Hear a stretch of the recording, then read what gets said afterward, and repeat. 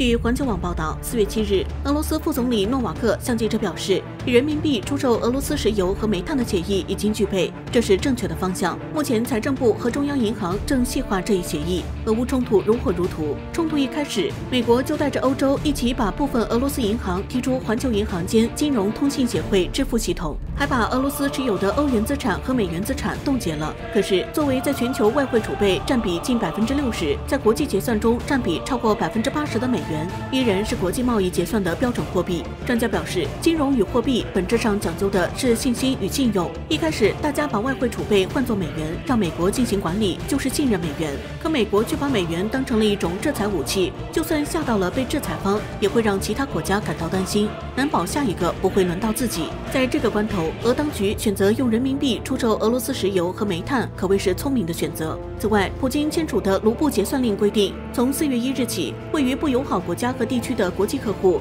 如果要购买俄罗斯天然气，必须在俄罗斯银行开设卢布账户，以卢布结算天然气费用。近日，匈牙利总理明确表态称，若俄方要求，匈牙利将用卢布支付天然气账单。